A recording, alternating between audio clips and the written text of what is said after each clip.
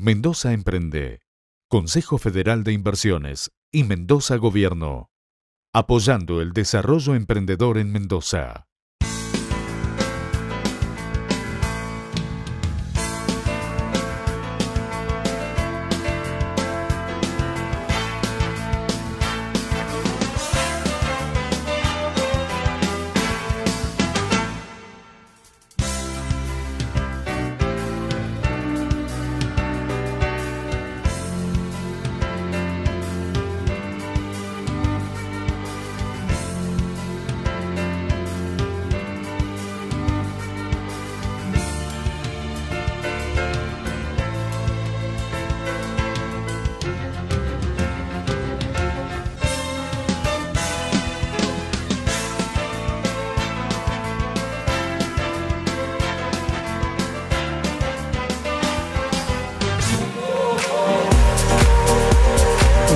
Mejor idea, nominado al Martín Fierro Federal, producción 2017.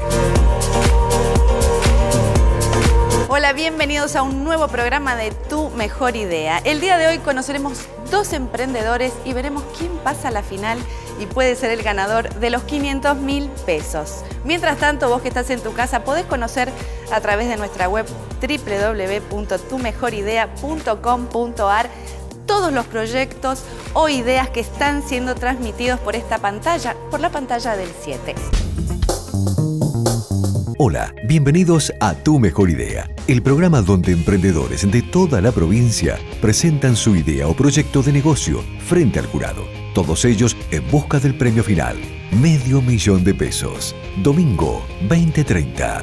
Tu Mejor Idea, acá, en el 7.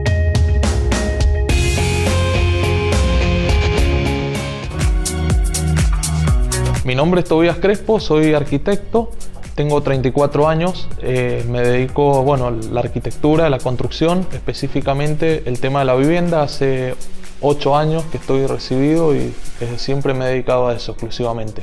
Hola, soy Marcelo Lombino, psicólogo, carpintero, tengo 34 años y una hija de 4 años y medio, mi compañera en el proyecto. Mi nombre es Carolina Rosales, tengo 38 años, soy sommelier y tengo un emprendimiento de sal con especias y vino alta gama. Mi nombre es Valentina Tornelo, tengo 30 años, soy licenciada en Relaciones Institucionales, tengo el proyecto Chichipato con mi hermana que es eh, diseñadora industrial.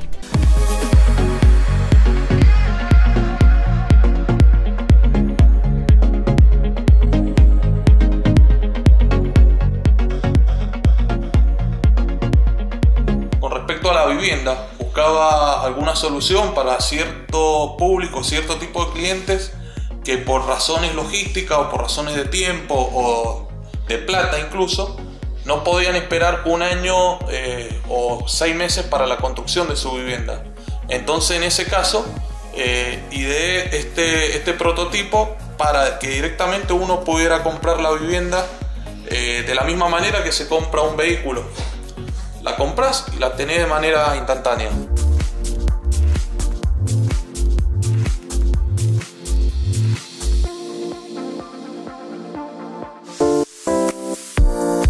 Tobias, decime, ¿cómo te sentís? ¿Estás por empezar? Bueno, nervioso, pero dentro de todo contento de por fin llegado, ha llegado el momento.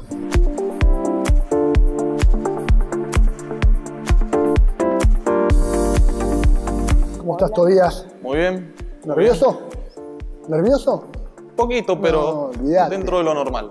Tenés, mira, 60 Gracias, segundos ahora gracias. para presentar tu idea. Dale. Tenés 60 segundos para presentarnos tu idea. Bien. Bueno, eh, mi proyecto es una unidad habitacional. La idea surge a partir del planteo de dos problemáticas precisas. Una es la, eh, accesibilidad a la vivienda por cuestiones económicas y otro es el conocimiento del consumo energético que requiere una vivienda, ya sea desde de, de- su fabricación y durante su vida útil. Por ello se adoptan distintas estrategias para mitigar ese consumo energético. Una de ellas es el reciclaje. El elemento principal con el cual se hace esta vivienda es un contenedor. Eh, de esa manera hacemos que 3 toneladas y media de metal que han sido des- descartadas con el agregado materiales nuevos y soluciones arquitectónicas se logra una vivienda, una vivienda confortable, por cierto accesible, dando respuesta a la primera problemática, al primer problema planteado. Eh, también la, la idea de que una vivienda sea adquirida como un vehículo, como un electrodoméstico en forma instantánea cuando se compra una vivienda instantánea. Perfecto. Se cumplieron tus 60 segundos y ahora tenemos 180 segundos de una ronda de preguntas y consultas. Empiezo yo preguntándote, ¿cuál es el costo de esta vivienda con contenedor versus la vivienda de construcción tradicional? Bien, el costo es relativamente parecido. Es un poco más barato el contenedor. Eh, hay, costos de tiempos de obras que en este caso no, no se, no se computan porque se obtiene de manera instantánea. Uno compra el contenedor, compra la vivienda y la obtiene directamente puesta en, destino, puesta en el terreno, puesta en obra, diríamos. La obtiene lista para funcionar. ¿Pero por metro cuadrado tenés un estimado de precio? Y depende de las necesidades, los requerimientos, depende de las terminaciones. ¿Y en porcentaje Pero es un...? hay un piso y hay un techo. Vecinos, un porcentaje más Bueno, o menos. decir. entre 500 y 600 mil pesos. Ah, perfecto. Una vivienda de un ¿De cuántos dormitorio. metros cuadrados? eso. Una vivienda de tres ambientes, un ambiente diurno eh, y dos ambientes nocturnos, una habitación principal y una habitación secundaria, con baño y cocina incluido, artefactos, griferías, todo. La habilitación de este tipo de viviendas, ¿cómo es frente a la ley o frente a las necesidades que... que- No habría problema porque la, desde el punto de vista estructural el contenedor puede verificar a, toda, a todo tipo de requerimientos sísmicos, suponiendo a- para una necesidad acá en Mendoza. Eh, desde el punto de vista térmico también hay coeficientes que todos los códigos municipales los tienen, en este caso también los cumple. Pero se puede habilitar y pagar impuestos municipales, o sea, Hay que presentarlo en la municipalidad. Una vez que se obtiene, se presenta en la municipalidad, se inician los trámites como cualquier otra obra bueno. y listo y se aprueba. Se ha terminado tu tiempo, muchas gracias.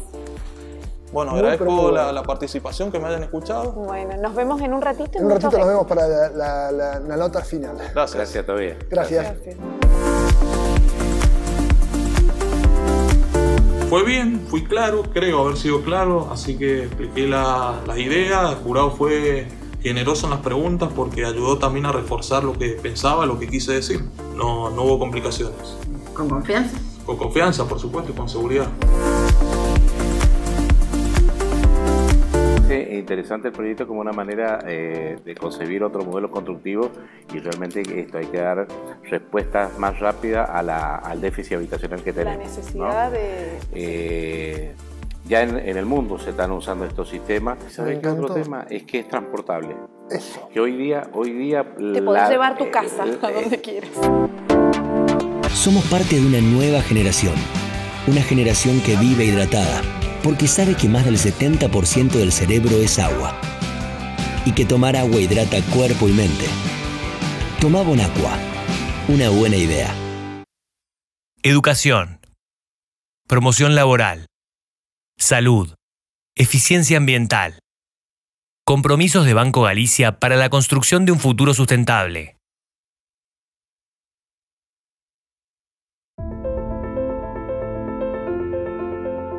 Si volviera a tener 20 años, ¿en qué invertiría? Invertiría en esa energía que trae una nueva vida. En risas, en magia y amistad. En aquello que me apasiona. Sin dudas, volvería a invertir en lo que tengo. Edemsa, toda la energía puesta en vos. Marcelo Lombino. Su proyecto tiene inicio con motivos terapéuticos y de esparcimiento en una etapa de su vida con cambios y separaciones. Yo soy Marcelo, estamos acá en el taller de Cobarrica. Cobarrica es un emprendimiento que comenzó con la idea de un taller de, de hobby y ahora es toda una empresa que se dedica a trabajar con la barrica de roble, la barrica de vino. Las tomamos de las bodegas, si sirven para seguir haciendo guarda de vino, las lavamos con hidro especiales y si no, si ya no sirven más para hacer vino, hacemos artesanías, ya sean tablas de picada, tablas circulares, especieros. Y la idea es estar creando, pasar a la madera emo- emociones, sensaciones. Marcelo, contame cómo te sentís antes de entrar a ver al jurado. Entusiasmado, eh, con expectativas y ojalá que el proyecto tenga lugar.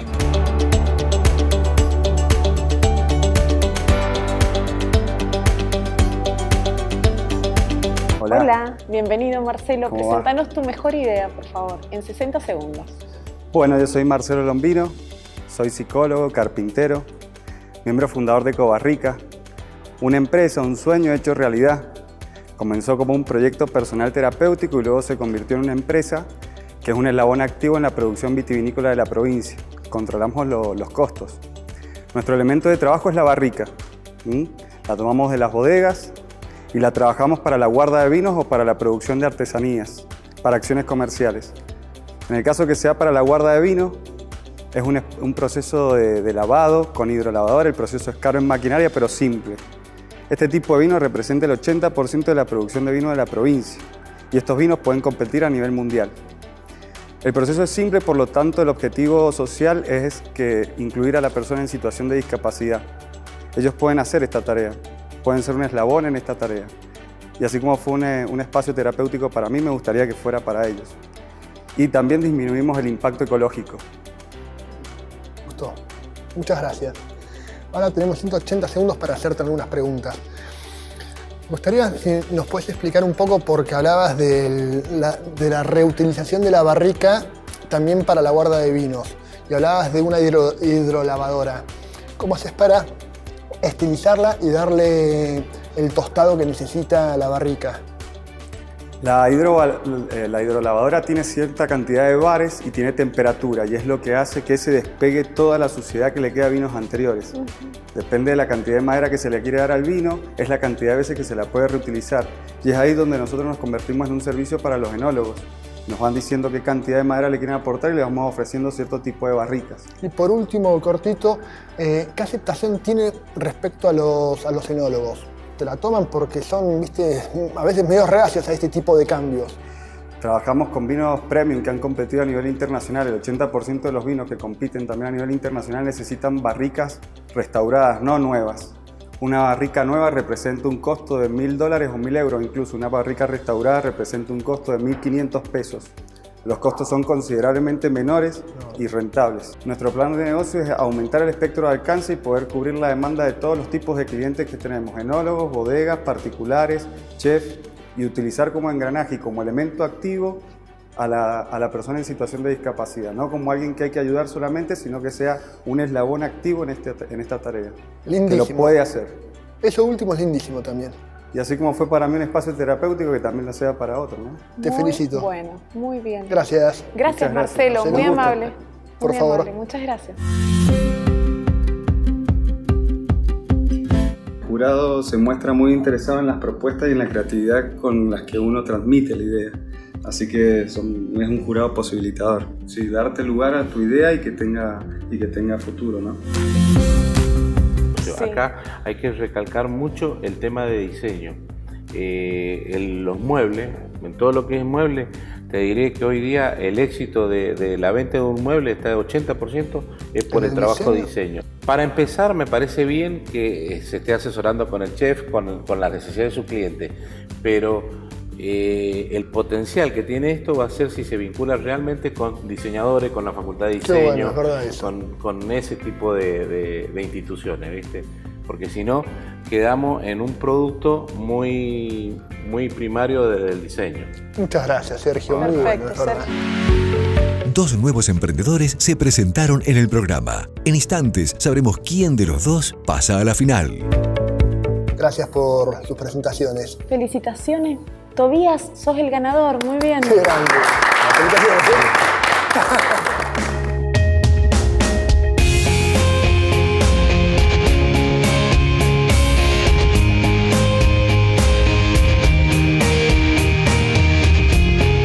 Y agradezco este look a Cassandra que me viste. Podés conocer, como siempre, te digo su colección a través de Instagram. A Leo Hudson agradezco mi peinado y a Flor Raviolo el maquillaje.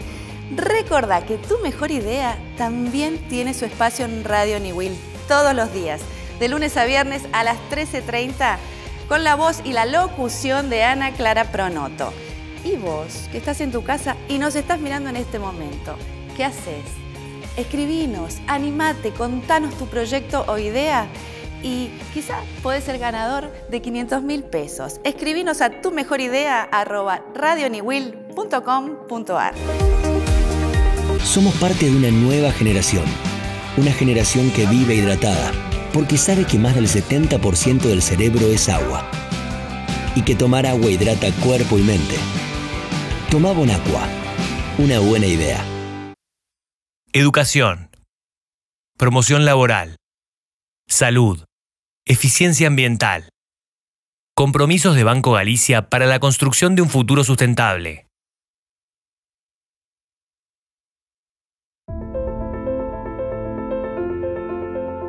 Si volviera a tener 20 años, ¿en qué invertiría? Invertiría en esa energía que trae una nueva vida. En risas, en magia y amistad. En aquello que me apasiona. Sin dudas, volvería a invertir en lo que tengo. Edemsa, toda la energía puesta en vos. Carolina Rosales, Mendozal, ama de casa, tiene una beba. Isabela, de un año. Vive en Corralitos, Guaymallén. Quiero que sea un producto que lo busque la gente, el turista y entonces era ver qué especias y qué sales. Entonces cuando buscaba las especias eh, dije, bueno, a ver qué es lo que representa Mendoza y, y pensando en el eslogan de la Tierra del Sol y el buen vino, digo, bueno, a ver, tierra, sol, vino, entonces el, el amarillo, el color tierra, el color uva, de ahí que tengo el curry, que es justamente con el, el amarillo, después el provenzal que tiene color uva y el chimichurri con un color más marroncito.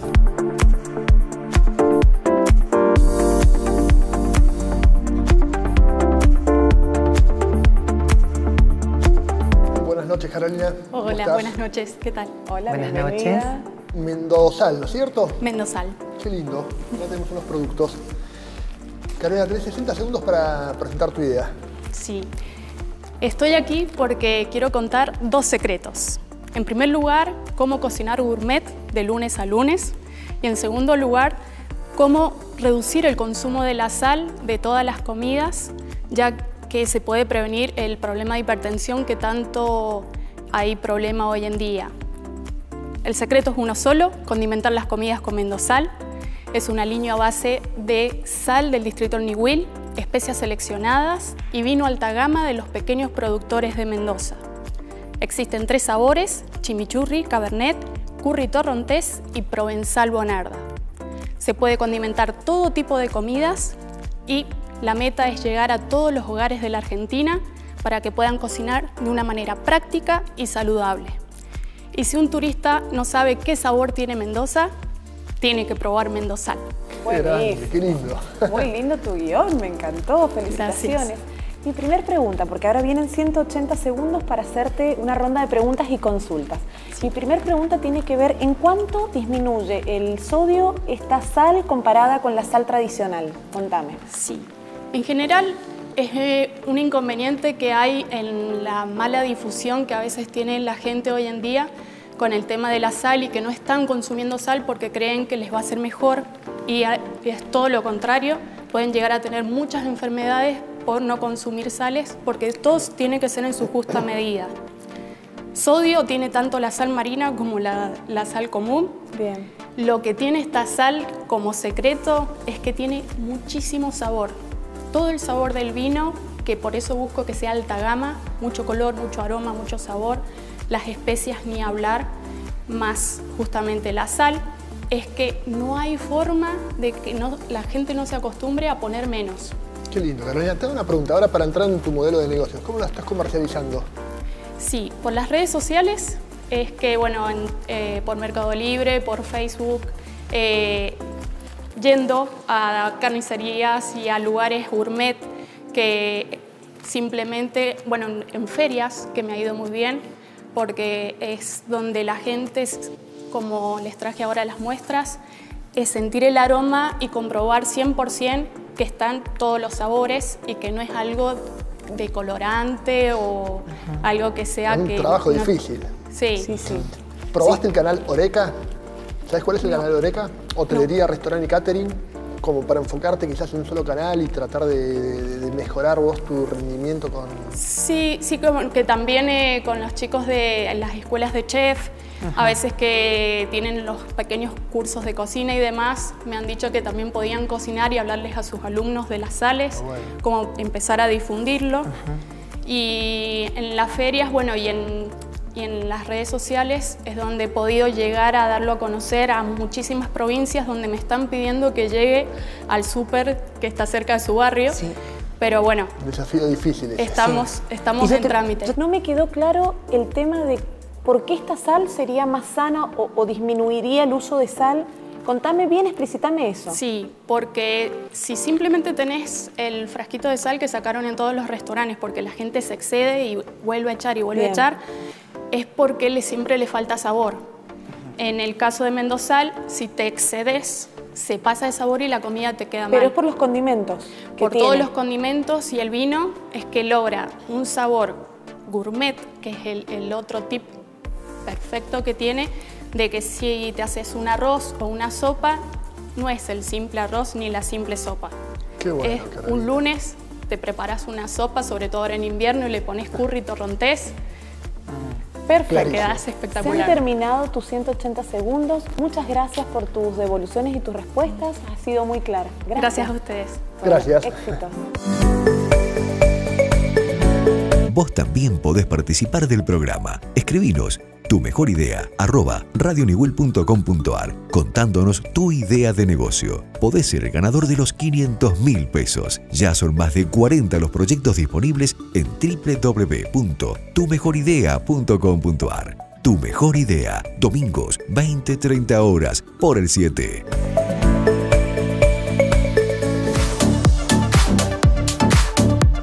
Valentina Tornelo, 30 años, casada, con un hijo de un año licenciada en Relaciones Institucionales, la creadora junto a su hermana de Chichipato. Su idea es ofrecer a los niños juegos y juguetes innovadores que rompan con la estructura de un ámbito específico de uso, debido a que son de fácil transporte. Ha desarrollado productos diferentes dirigidos a los grupos de niños y de acuerdo a su edad.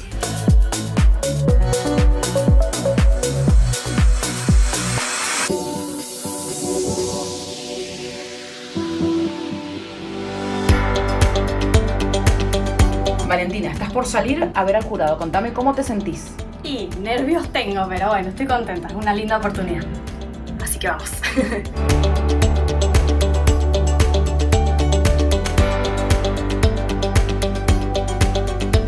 ¿Qué tal, Valentina? ¿Cómo va? ¿Cómo están? ¿Bien? Bien, ¿querés acercarte? Nos traes regalos. Bienvenida. Valentina de Chichipato. Ay, qué bueno. ¿Qué me toca a mí? La mochila. La mochila. Wow. Ay, qué Muchas gracias. Qué lindo. Ay, me, tocó seguridad vial. Genial, me encanta. Bueno, Valentina, tenés 60 segundos para contarnos de qué se trata Chichipato, juegos y juguetes. Bien. Bueno, nuestro proyecto Chichipato ofrecemos juguetes que les permitan a los niños conectarse con sus habilidades cognitivas, motrices, sensoriales, sociales y sobre todo creativas y que tienen el objetivo de enriquecer el vínculo de los niños con sus padres y con sus amigos mediante el juego. Hemos desarrollado tres productos que buscan estar en los distintos rangos etarios de nuestro grupo de usuarios, pero que también acompañen al mismo niño en sus distintas etapas de desarrollo eh, primario. Eh, por, un lado tenemos el libro de mm, estimulación temprana para bebés, fabricado íntegramente en tela. La Mochipato es una mochila pensada para adaptarse a los asientos de medios de transporte, ideal para viajes largos, con placas de dibujo libre y placas imantadas de juegos. Y el libro de tableros, que es de juegos de mesa para que los chicos compartan con sus amigos, que parte de una bibliografía real, como geografía, historia o seguridad vial, de manera tal que aprendan mientras se divierten.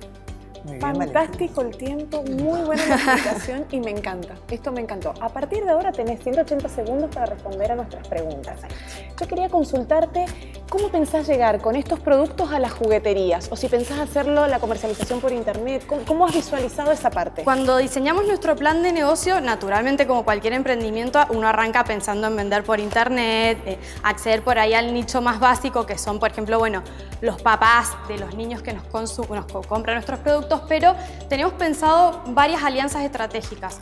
Desde el lado, por ejemplo, de la comercialización, respecto de tu pregunta, si bien las jugueterías pueden ser un, potencial cliente, también queremos, por ejemplo, acceder a una alianza con líneas aéreas o industria automotriz o quizás consultorios, salas de esperas en hospitales, em, de alguna manera también especialistas que trabajen con estimulación y, capacidades diferentes. Y por otro lado también alianzas estratégicas que tengan que ver con la producción, porque tanto mi hermana y yo, que somos las personas que conformamos el equipo de Chichipato, no somos especialistas, por ejemplo, en lo que es textil y en la búsqueda de proveedores por ahí que tuvieran que ver con, economizar algunos recursos, descubrimos una oportunidad muy importante en el, en el penal de mujeres del Borbollón, ah. donde hacen capacitación eh, textil y trabajan, tienen maquinaria y taller, entonces les presentamos el plan para poder hacer quizás la producción con ellos. Me gusta. Y de alguna manera también, por ejemplo, si accediéramos al, al premio y, y usáramos, digamos, montáramos nuestro propio taller, podríamos también tener la posibilidad de emplear a mujeres que salen del penal,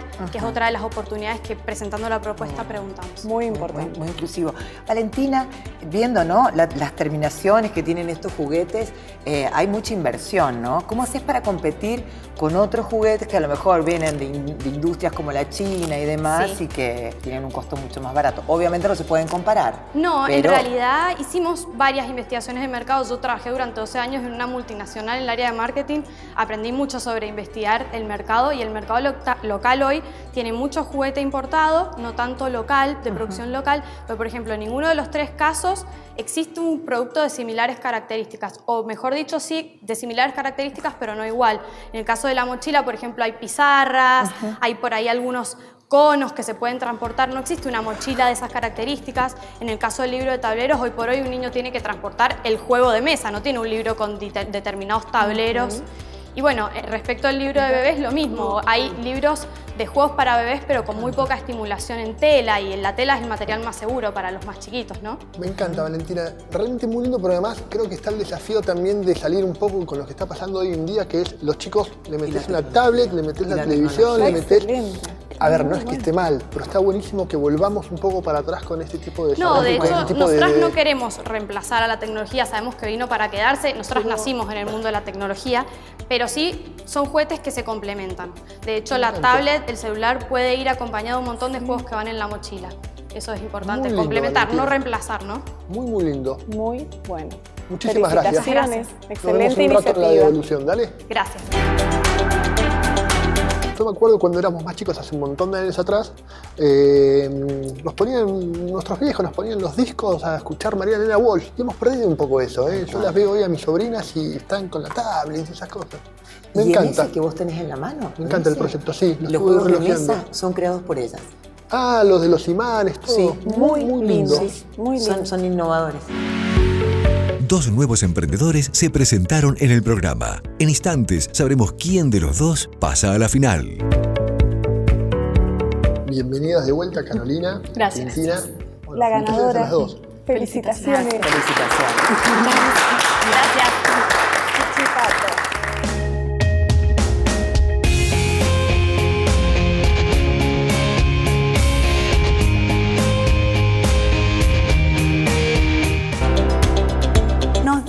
Pedimos. Recordá que de lunes a viernes por Radio Niwil a las 13.30 tu mejor idea tiene espacio también en la radio. Nos encontramos el próximo domingo a las 20.30 por la pantalla de Canal 7 y en tu mejor idea. Chao.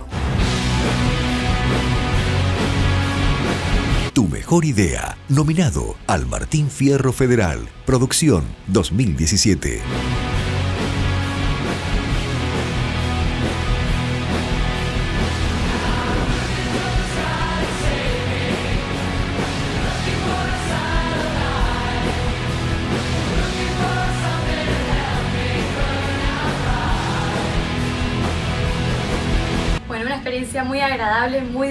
Un buen jurado, un equipo de trabajo muy lindo, así que muy agradecidas por la oportunidad.